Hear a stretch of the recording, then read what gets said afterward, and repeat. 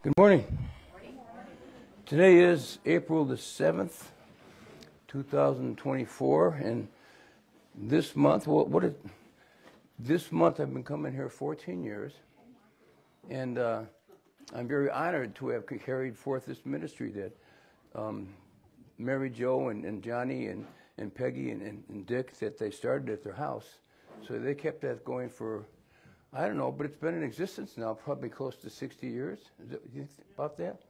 About 60 years, which is, you know, and I, I'm honored to be a part of that. So I, that's, because uh, when I met Johnny and Mary Jo, I just, you know, they, they, they were graceful people and they just liked me. And uh, that doesn't happen very often with me.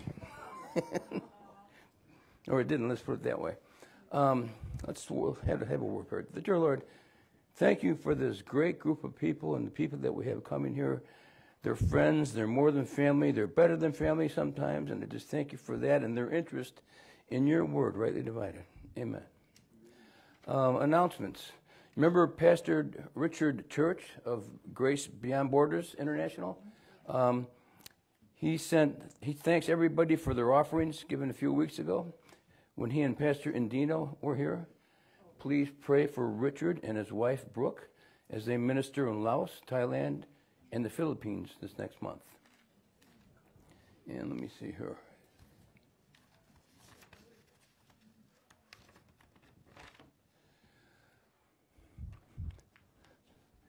If you would, I just want to just go to um, see here.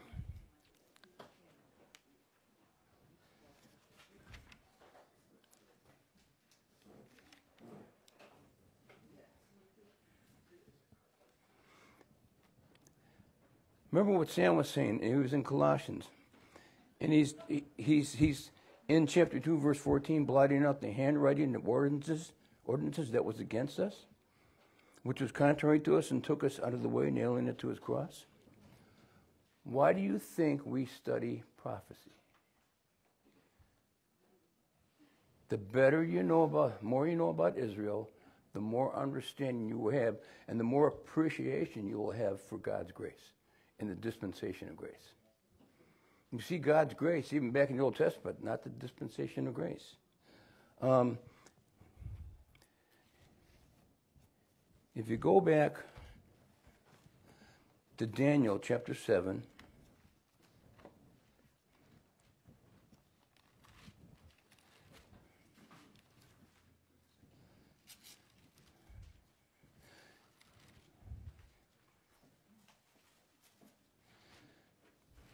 Now, let me read that one in Colossians 2 again. Blotting out, Colossians 2.14, the handwriting of ordinances that was contrary, that was against us, which was contrary to us, and took it out of the way, nailing it to his cross, having spoiled principalities and power. Daniel 7, verse 25.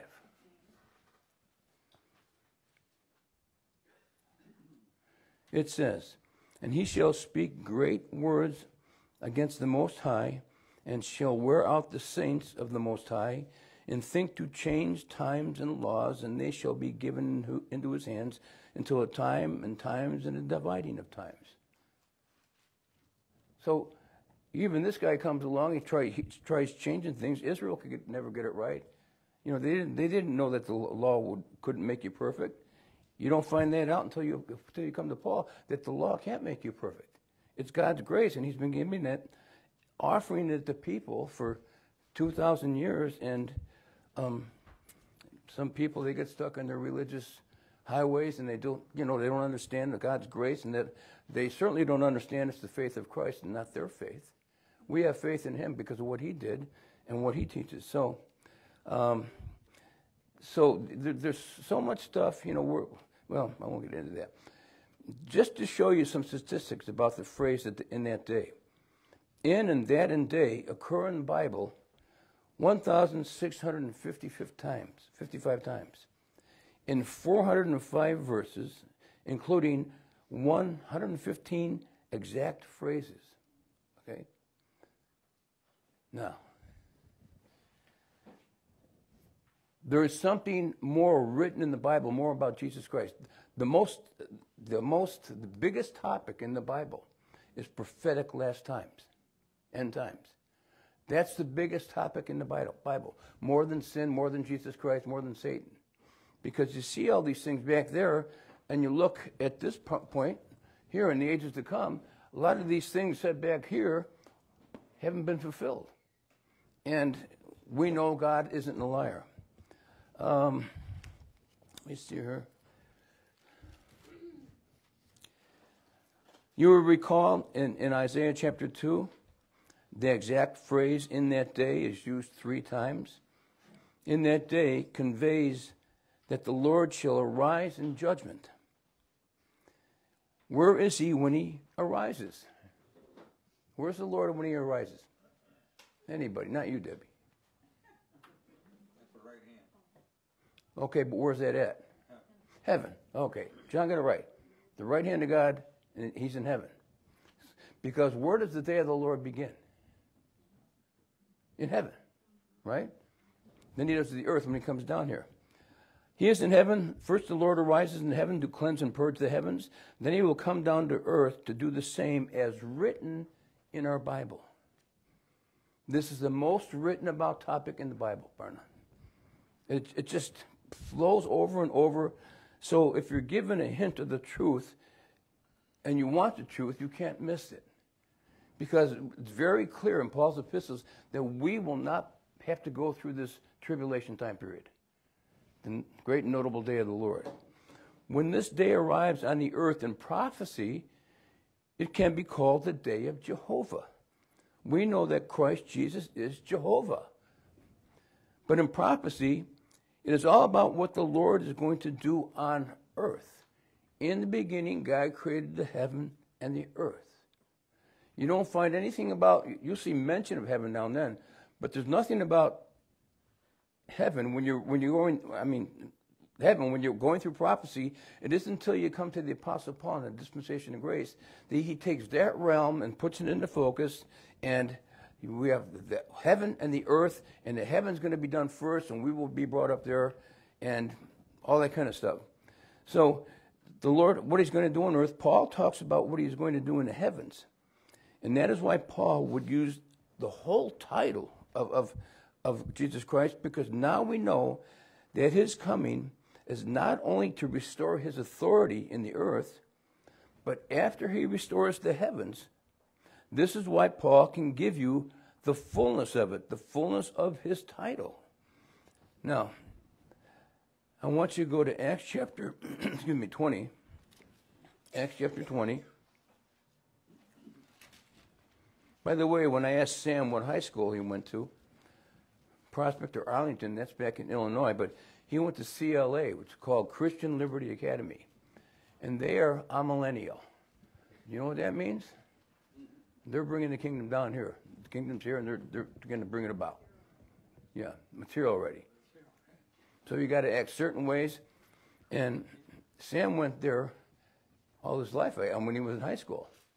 Now, Sam's father was a right division teacher, so he didn't fall for that. But my children went there for a short time. One day we were going there to pick up Zach, and he was about 20 minutes late. And he, he comes out of the building and he's crying. I said, What are you crying for? He says, My Bible teacher's unsaved. he was eight or nine years old. I go, What? So guess who talked to the Bible teacher the next day? It didn't go well. So I asked him, I, I, he says, I don't know if I'm saving. I said, What are you doing teaching the Bible? Now, when my daughter was in sixth grade, the pastor there got up and preached that Jesus Christ didn't die for all people. That's when we took him out of that CLA, Christian Liberty Academy, and she homeschooled them. Thank God for you. You did that. I could have never done that. But the point is, she homeschooled them. He didn't die for everybody. How does that sit with you? That is total, totally contrary to all 13 of Paul's epistles. 2 Timothy 2.14 talks about that by my mouth the, the information might be fully known. Colossians 1.25 was given to Paul to fulfill the word of God. But when you go to Acts chapter 20.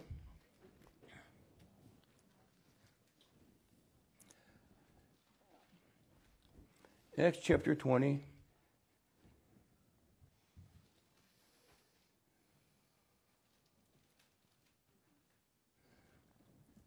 Let me start at verse 24. Paul says, he's talking here. Now, Luke wrote it, Paul's talking. But none of these things move me, neither count I, I my life dear unto myself, so that I might finish my course with joy. The ministry which I have received of the Lord Jesus to testify the gospel of the grace of God. That's the only time that's said in the Bible. The gospel of the grace of God. And now behold, I know that ye all, among whom I have gone preaching the kingdom of God, shall see my face no more. There's going to be a heavenly kingdom, right? Wherefore I take you to record this day that I am pure from the blood of all men. For I have not shunned to declare unto you all the counsel of God. Now, did Peter ever say that, or could he say that? Sam brought it up. Paul rebuked Peter because he was walking two faced. Did John say that? Did James say that? All the counsel of God. Now we know by this time the six Acts period epistles have been written. Okay? Paul will get further information when you get out of Acts. Um, this is why we study prophecy. So don't let anybody come up to you and say that we don't study prophecy. It's, it's not true. There is such a contrast between what God's doing today compared to what he did in time past and what he's going to do in the ages to come. And like I said to my wife on the way here, we are very fortunate people. And not only to love each other, you have skits sometimes, you know, but to be in this dispensation. And, you know, when we caught a hold of this in midlife, I, I couldn't believe it. And, you know, it's, why would I get up 4 o'clock in the morning and take classes like this? You know, who does that kind of stuff? You know? And it's, why have I been coming here? Because it, being raised what we were raised, it, it took such an effect. And then I talked to somebody yesterday that he said he, he came and witnessed to this person, and the person went bonkers on him.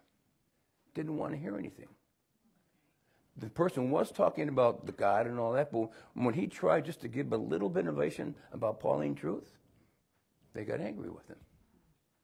And they didn't know, well, he, he had to stop speaking because, you know, he's just not, he wasn't doing it offensively. He wasn't knocking their religion or what she knew. But then look at this. Look at he's trying to reconcile the world. Paul's the one that fulfilled the word of God. He, you know, he gives the last message. Those Hebrew epistles were written before Paul finished 2 Timothy, probably in, most of them in the book of Acts. So in 2 Thessalonians 2, Paul emphasizes that the day of the Lord is when he comes back to the earth. We, the body of Christ, will be in the heavens when that day arrives. We, the church, the body of Christ, Ephesians 1 22 and 23. The one new man, Ephesians 2 15 the new creature, 2 Corinthians 5:17, are holding back this prophesied event in the day of the dispensation of grace. We're holding this back. That's why we're in 2 Thessalonians 2, because people were coming to them, making them think that the, the rapture already happened, or they missed it, or it isn't even here. It's not going to come. They were, they were preaching opposite what Paul was trying to teach them.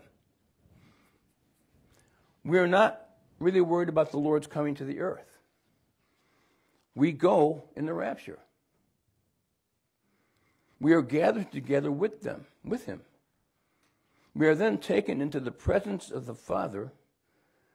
And in the presence of the Father, when Revelation 4 and 5 take place, when who is worthy to open the books take place, we are there. We are presented to the Father, and our presence is there already. Revelation 12 12 is the only verse in Revelation that could possibly be talking about us. So the first thing you have is the day of redemption. Okay? Then you have the judgment seat of Christ, where we're not judged for our sins. That's already taken care of. Then you go to the presentation ceremony. Okay? Let me see here. Go to 2 Corinthians 11.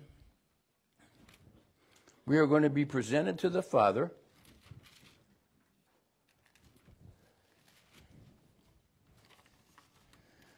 Second Corinthians 11 and 2 Corinthians 4.14.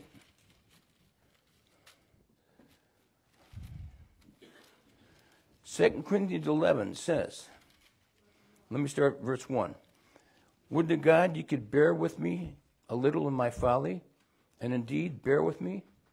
For I am jealous over you with godly jealousy, for I have espoused you to one husband, that I may present you as a chaste virgin to Christ. Now, this is, we're not married to Christ. People want to say that.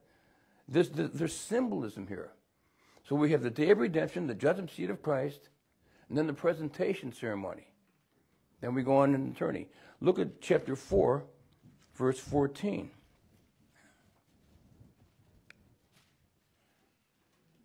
Second Corinthians 4:14 says, "Knowing that he which raised up the Lord Jesus shall raise up us also by Jesus and shall present us with you."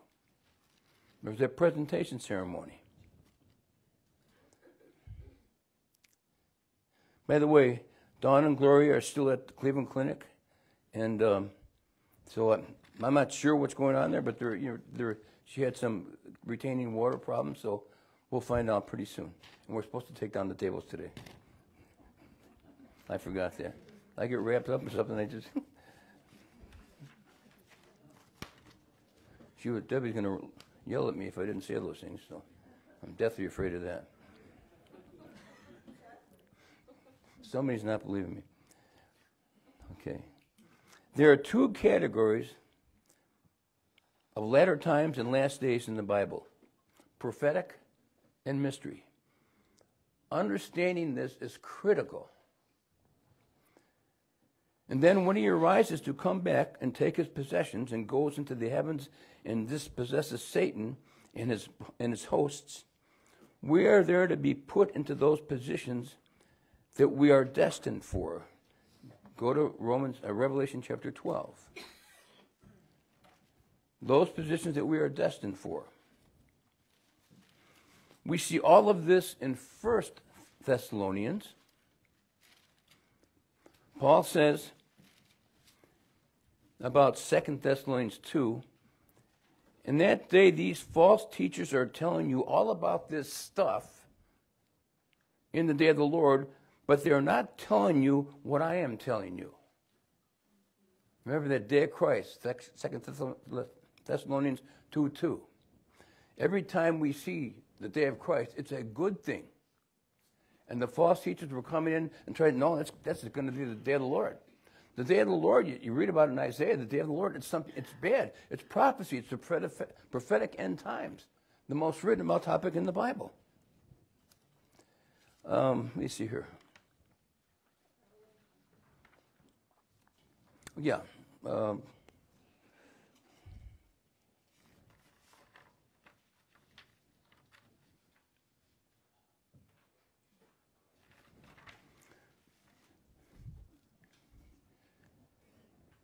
How many of you have speak, spoken to people that say we are the bride of Christ? We're married to Him. Catholic priests have a have a ring. They're married to Christ. I was standing taking a shower at the Y one time, and a Catholic priest was in there. He didn't have his things on. He was showering too.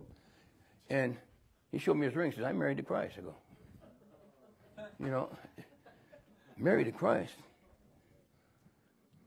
In Revelation chapter 12, verse 12, Therefore rejoice, ye heavens, and ye that dwell in them. We will be dwelling there, right there. Woe to the inhabitants of the earth and of the sea for the devil is come down unto you having great wrath, because he knoweth that he hath but a short time.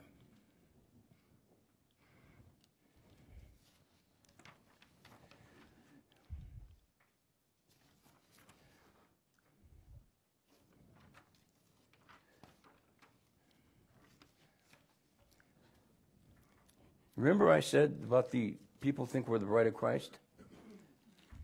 What is that? What's written?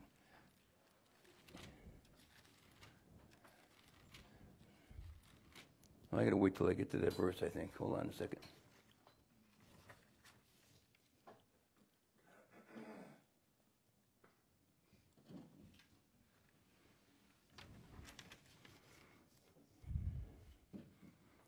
Jeremiah is called the weeping prophet.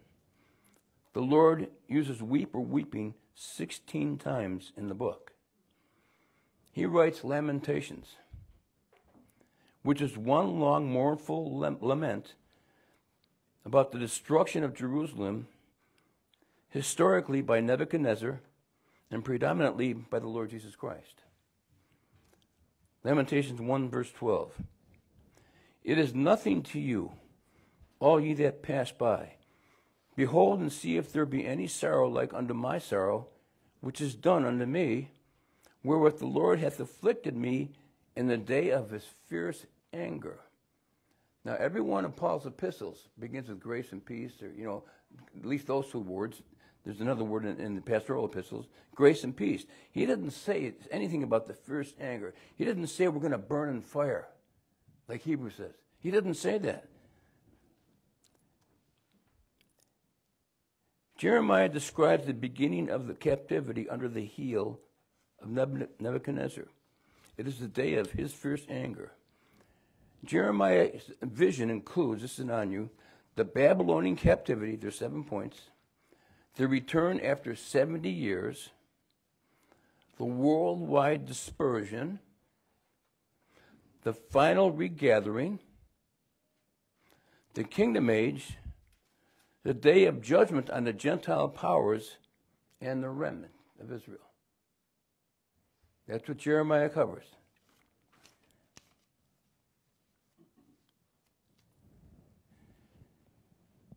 In Lamentations, the Lord is destroying Israel.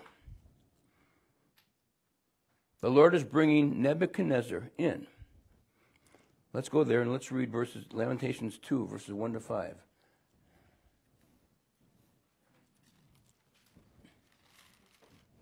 Lamentations 2, verses 1 to 5. Now, again, they're mournful. They're, they're, the, the Lord doesn't like them. He's, being, he's judging them.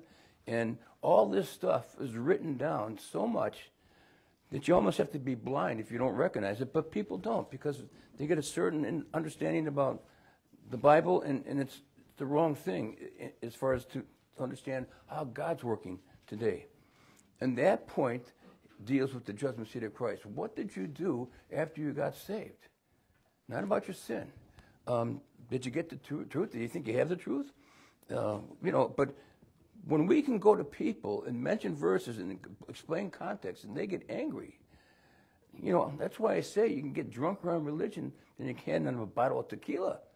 You know, it's just, it's, it's crazy.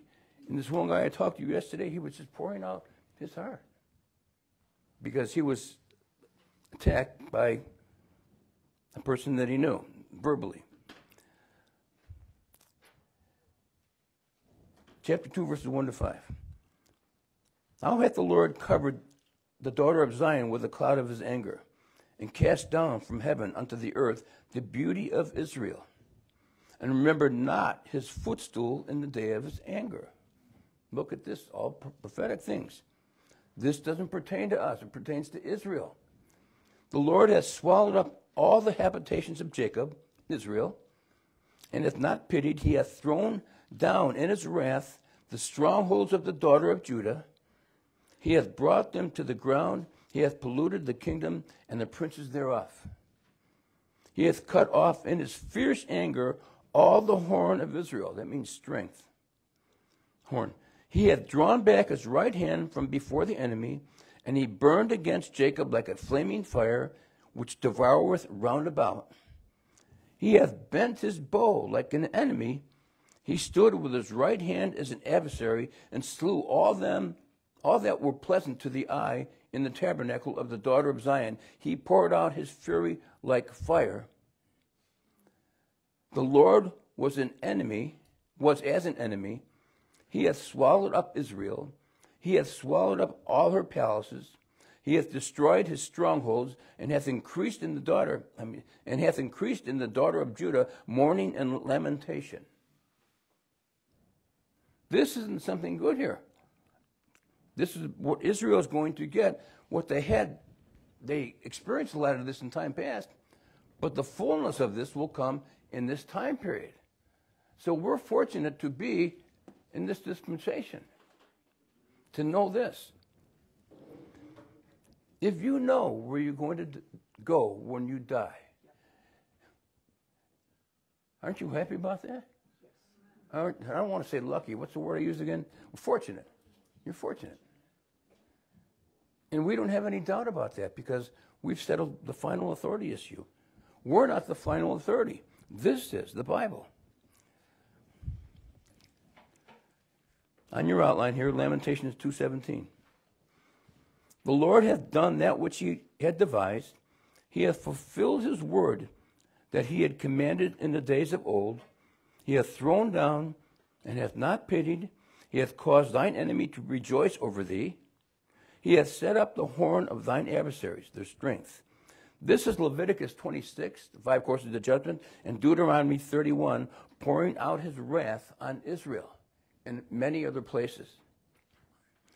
Lamentations 2, 21 and 22. The young and the old lie on the ground in the streets. My virgins and my young men are fallen. As in a solemn day, my terrors round about, so that in the day of the Lord's anger, none escaped nor remained. Those that I have swaddled and brought up hath my enemies, hath my enemy consumed. This is total destruction. Total, total destruction. I read that point to point out that when the captivity began, they understood it was the wrath and anger of God on Israel. It was the beginning of the day of his wrath. Lamentations 5:16. The crown is fallen from her head. Woe unto us that we have sinned. That's called the diadem. It's a crown of authority, political authority. Israel lost her political crown of authority through her sin, her pride, and her rebellion. Now, I want you to compare the following two verses with the next following two verses. Here's the bad ones. Deuteronomy 28 13. And the Lord shall make thee the head and not the tail. What did the Lord originally make Israel as? The tail or the head? The head. But now she's become the tail. Okay? Revelation 5, verse 10. And has made, has made unto and has made us unto our God kings and priests, and we shall reign on the earth. Now, compare this. This is Israel's exalted position, and the scripture says will be again. But Deuteronomy 28 43 to 44. The stranger that is within thee shall get up above thee very high, and thou shalt come down very low. He shall lend to thee, and thou shalt not lend to him. He shall be the head, and thou shalt be the tail. Isaiah 9:14. Therefore the God will cut off from Israel head and tail, branch and rush in one day. So the Gentiles are ruling due to Israel's apostasy. And their, their punishment is prophesied all over the Bible. And this, this today's dispensation, salvation wise, Israel is no different than the Gentiles. Everybody gets saved the same way. If you go to Ezekiel chapter 21,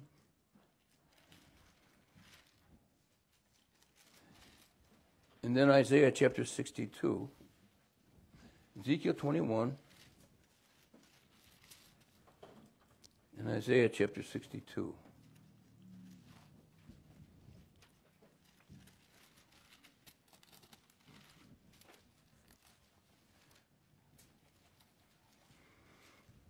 Now, Ezekiel 21, just Israel, Ezekiel was a fifth course prophet.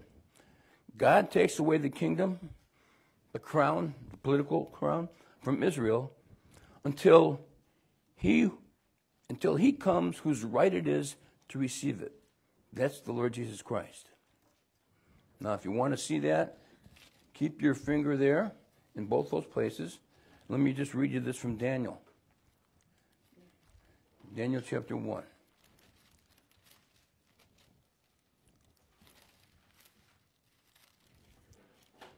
Daniel chapter 1, verses 1 and 2. In the third year of the reign of Jehoiakim, king of Judah, came Nebuchadnezzar, king of Babylon, unto Jerusalem and besieged it. Verse 2. And the Lord gave Jehoiakim, king of Judah, into his hand, with the part of the vessels of the house of God, which he carried into the land of Shinar, to the house of his God, and he brought the vessels into the treasure house of his God. No. Look at chapter 2 and verse 44. Daniel chapter 2, verse 44. He says, And in the days of these kings shall the God of heaven set up a kingdom which shall never be, be destroyed. And the kingdom shall not be left to other people, but it shall break in pieces and consume all these kingdoms, and, and it shall stand forever. So right now we're in the times of the Gentiles. You got Babylon, Media, Persia, Greece, Rome, and all these Gentile nations have been ruling throughout the centuries when, when, the, when the time of the Gentiles began. The Lord's not ruling here. He's not on, he's not on the throne. He's up in heaven right now. Let me see.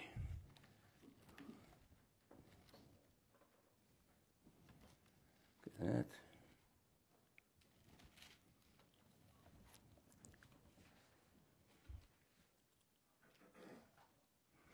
Isaiah chapter 62. Let me read you verses 1 to 5. Isaiah 62, verse 1. And you know what?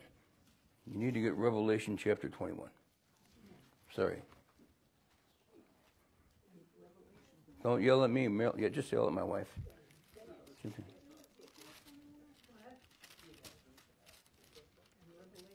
We're in Isaiah chapter 62 and Revelation 21. So you've all heard that we're the bride of Christ, or we could be the bride of Christ, and this and that, right? We're married to him. We're not. And it's, it's, this is symbolic language. The presentation ceremony, you know, he wants us to be like a virgin. He wants us to be pure, you know, and we're made pure. We're, we're, we still, we, our sins have been taken away, and he wants us to grow in knowledge of his, of his word in, in, in, inside the man. And Isaiah 62, it says, For Zion's sake will I not hold my peace, and for Jerusalem's sake I will not rest until the righteousness thereof go forth as brightness, and the salvation thereof as a lamp that burneth. And the Gentiles shall see thy righteousness, and all kings thy glory, and thou shalt be called by a new name which the mouth of the Lord shall name. Thou shalt also be a crown of glory in the hand of the Lord, and a royal diadem, that's the, the crown, in the hand of, of thy God. Thou shalt, shalt no more be termed forsaken, neither thy land any more be, more be termed desolate. But thou shalt be called Hephzibah, and the land Beulah. The Lord delighteth in thee, and thy land shall be married. For as a young man marrieth a virgin, so shall the sons marry thee. And as the bridegroom rejoiceth over the bride, so shall thy God rejoice over thee. Now, this is all symbolic. We are not the bride of Christ. We're not married to him. Go to Revelation 21. You might want to mark Revelation 21 um, in Isaiah, mark Revelation 21, verses 1 and 2, and 9 and 10 by that verse in Isaiah 62. That's Revelation uh, 21, verses 1 and 2, and 9 and 10. And you're going to see they're going to be brought, attached back to their land. They're going to be married back to it. Revelation 21, and I saw the new heaven and new earth, for the first heaven and the first earth were passed away, and there was no more sea. And I, John, saw the holy, saw the holy city New Jerusalem coming down out of heaven, prepared as a bride adorned for her, her husband. It's, it's prepared. We're not his bride. You read in Matthew 6, the kingdom come that will be done on earth as it is in heaven. This is, it's going to be coming out of heaven, down to heaven. And then verse 9 and 10, and there came unto me one of the seven angels which had the seven vials full of the seven last plagues, and talked with me, saying, Come hither, I will show thee the bride, the Lamb's wife. Who's the bride of the Lamb's wife? What does verse 1 and 2 say? Okay, the heavenly Jerusalem. And he carried me away in the spirit to a great and high mountain, and showed me that great city, the holy Jerusalem, descending out of heaven from God. This was when the whole nation is purged. They're dealing. They've dealt with it. They're all burned up, and they get back, get back with the Lord, and He's going to marry them back to the land. It's going to be a permanent possession. It can't be taken away from them anymore. Now that, to me, that settles the issue. We're not the bride of Christ. We're saved people. We're saved saints, and we're called saints, but in the dispensation of grace, and the, the language is symbolic in Revelation. It's symbolic in 2 Corinthians 11. You know, it doesn't mean we're an actual bride or married to him. We don't have to wear a ring saying that. We're just, we're, well, I don't want to go on. Um, okay. Got that done. Back your outline. Israel lost her political crown of authority through her sin, pride, and rebellion. Wait, I already did this. The last paragraph. Regarding 2 Timothy 2 2. 2 Thessalonians 2 2.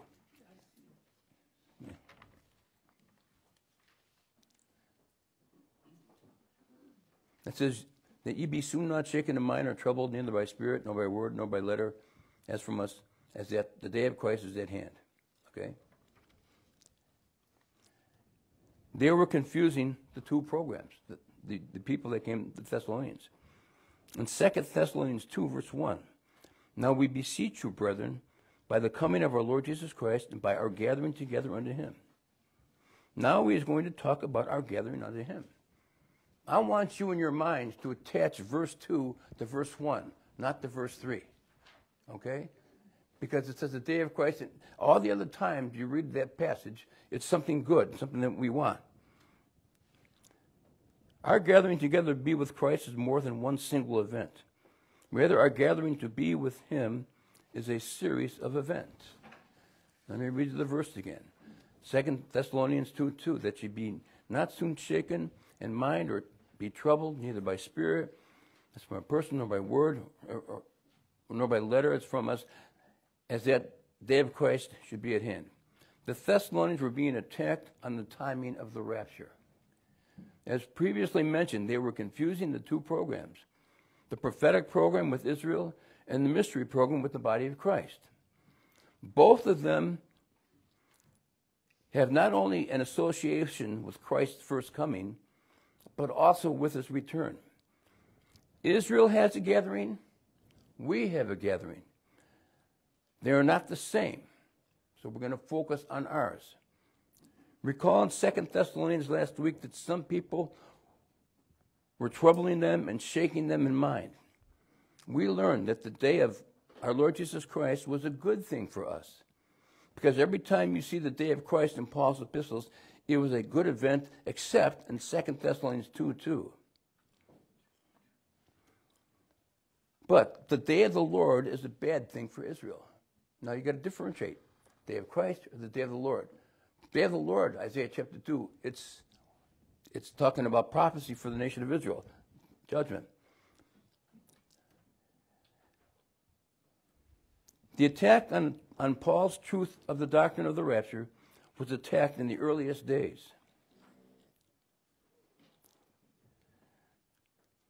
But now, you get this expanded understanding of Christ's name and title. Paul gives the final installment of progressive revelation to add to the completion of what God is doing.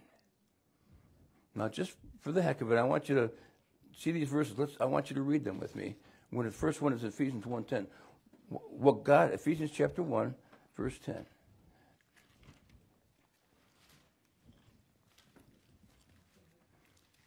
Remember, progressive revelation.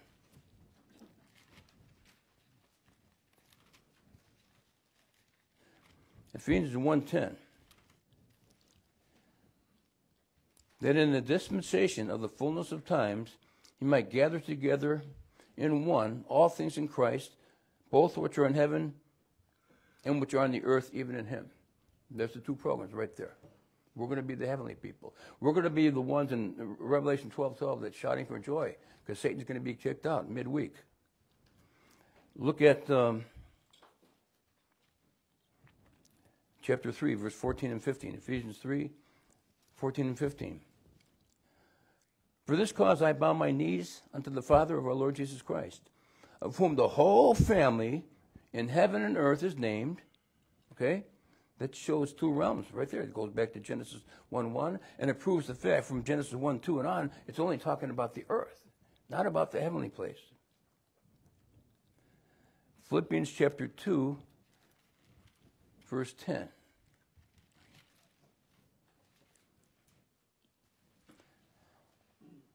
That at the name of Jesus, every knee should bow of things in heaven and things in the earth and things under the earth. Now, how many of the Old Testament prophets said anything like this? None. Go to Colossians chapter 1, verse 16 and 20. Colossians 1:16 For by him were all things created that are in heaven and that are on earth, visible and invisible, whether they be thrones or dominions or principalities or powers, all things were created by him and for him. Talking about Jesus Christ. Now, this is the expanded knowledge that, that Paul gets. Verse 20.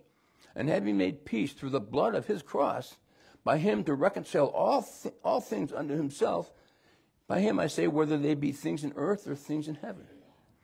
So, how many times do you need that said in the Bible before you're going to believe that? I'm not trying to be nasty. Paul gives understanding to the prophetic program as well as a new program that has been kept secret. 2 Thessalonians 2 3. Let no man deceive you by any means, any means, for that day shall not come except there come a falling away first, and that man of sin be revealed, the son of perdition. That day, the day that they, false teachers, are telling them is at hand. But that day should not come except certain events take place. 2 Thessalonians 2 4. Who opposeth and exalteth himself above all that is called God, or that is worshiped, so that he as God sitteth in the temple of God, showing himself that he's God. That day they are talking about in prophecy is called the day of the Lord. The difficulty with this is that most people misidentify the day of Christ in 2 Thessalonians 2 2, just as these false teachers have done. Paul knows. Paul knows that the day of the what the day of the Lord is. He taught them about it in 1 Thessalonians 5. He says, You're not going to, you're, you're the part, people of the day, not of the night. That's part of the night. That's part of the prophecy. They're prophesying back here. It's going to be finished up here. It's going to be nighttime. It's going to be bad for them. Paul's not Paul is writing to them about what the false teachers were saying. They were trying to make it scary and troubling. Remember, attach verse 2 to verse 1. Every other place, it is a cause of rejoicing. The day of Christ, the day of the Lord Jesus Christ, the day of Jesus Christ. How did this come about? Who did this? The false teachers are the ones who want to trouble them, and here in this text made it bad news. This is not Paul's teaching. They are contradicting Paul's teaching, and that made it bad news. The false teachers did not understand the context. That day is obviously a reference to the day of the Lord. Look at the events that follow that verse. They are the events of the 70th week of Daniel. The day of the Lord is involved in that. This is prophecy. Notice again, the issue is going to focus on timing. The idea of, of coming is not that it comes into existence, but that it is going to come down to the earth. The term the day of the Lord was coined by Isaiah originally. The term that day that Paul is using in the text was coined by Moses. Go to Deuteronomy chapter 31 and let's read verses 17 and 18. Deuteronomy 31, 17 and 18.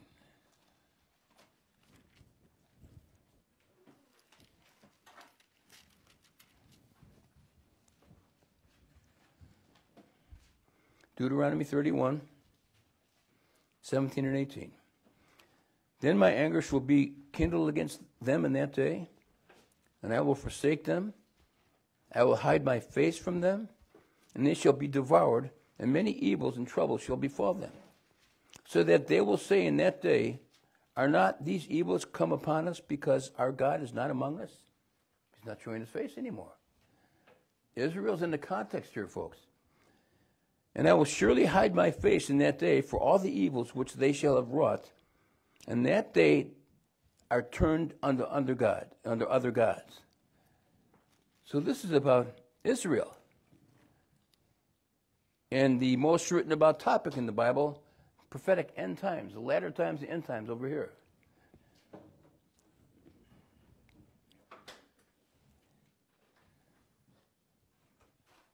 That day and the day of the Lord describe the captivity of the nation of Israel.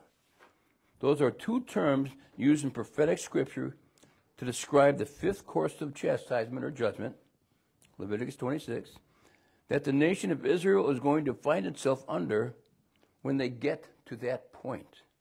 Now, they were at that point, but God reached down and saved Saul, a type of the Antichrist, and ushered in the dispensation of grace. It began with the Babylonian captivity around 600 BC, extends all the way into the earthly kingdom. The day of the Lord began back in the time of Israel's captivity. We also learned that a day has more than one part to it, daytime and nighttime.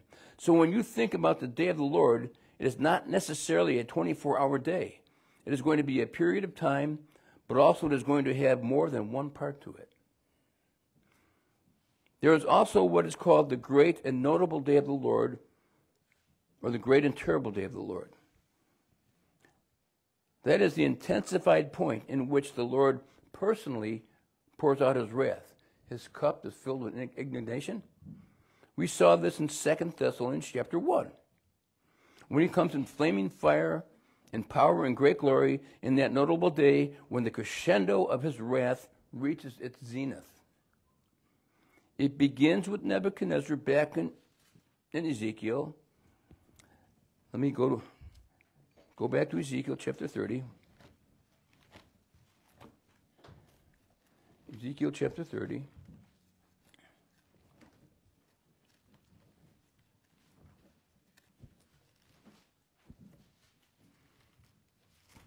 And let me read you verses 1 to 3 and then 10, 12, and 24.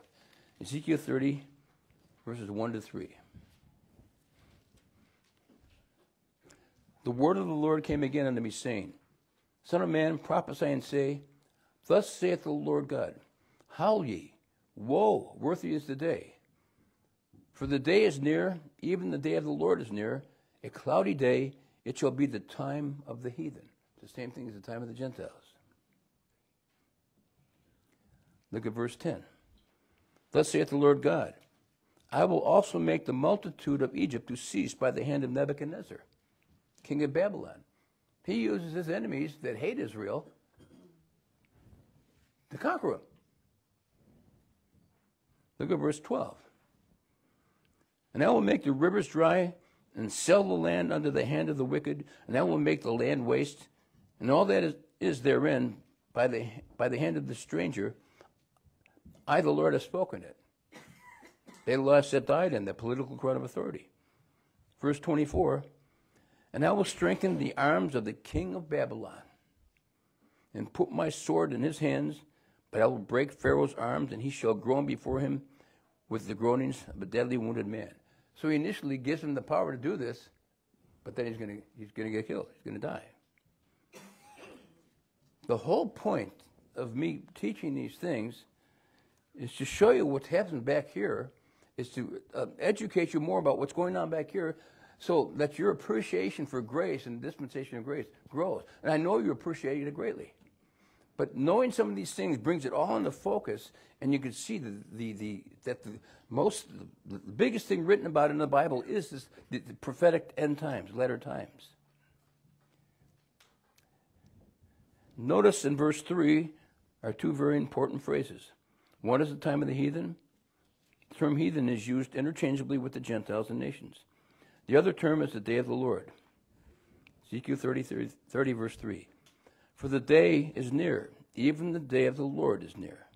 Verse 10 You see, God says, I will do this, this, and this, but I'm going to use Nebuchadnezzar as my instrument to execute my judgments. Okay. Go to Isaiah chapter 10.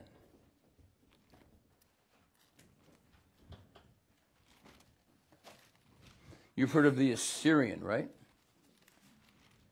Assyrian is another name for Antichrist. Assyria is the land. Isaiah chapter 10, let me start at verse 5.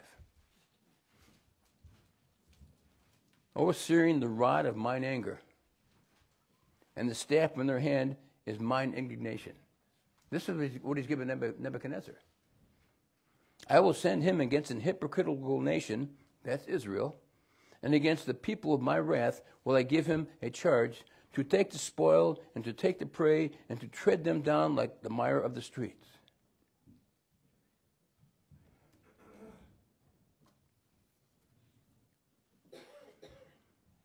Some have said to me, read these verses from Paul that show you we are in the end times, the prophetic end times, they mean. So you either miss the rapture or the rapture is not true. I've had this said to me. But let's read these passages and see what they really say. Go to 2 Timothy chapter 3.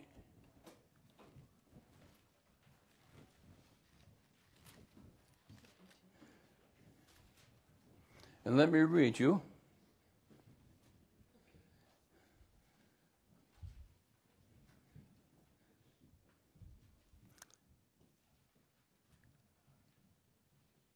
Chapter 2, I'm sorry. Now, this is, you know what 215 is? Chapter 3? Oh, yeah, chapter 3, verses 1 to 8. This know also that in the last days, perilous times shall come. Now, this is the last days of the dispensation of grace.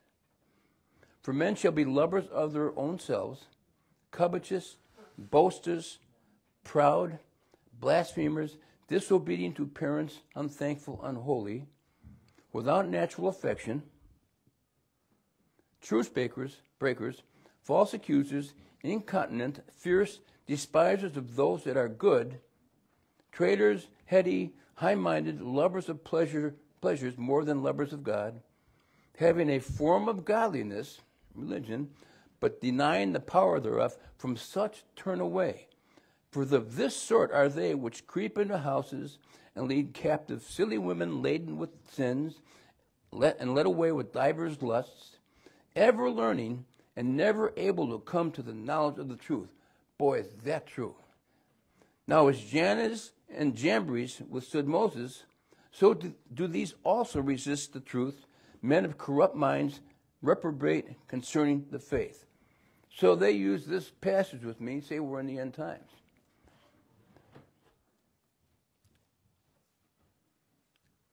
But I would say these characteristics have been true of mankind since the beginning, since Adam fell.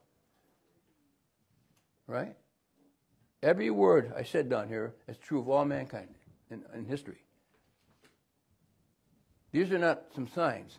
These, these are these, these things. All the things I, I read here is internal, not physical. The Jew requires the sign; they're internal.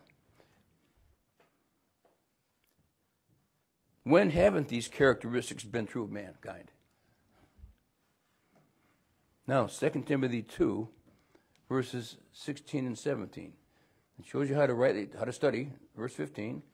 But shun profane and vain babblings, for they will increase unto the more ungodliness, and their word will eat, eat as doth a canker, of whom is Hymenaeus and Philetus. They're also saying the rapture passed you, or it's not going to come. So this, you know, the button it up, for the Jews require a sign, but these are not the signs God has prophesied that nation, that Israel will experience in their end times. Just read the book of Revelation. The characteristics laid out in 2 Timothy define unsaved mankind throughout history and in both programs. And you have to know the difference. Dear Lord, thank you for this time in your word and please allow it to work grace in ourselves fully when we leave here. Amen. Thank you.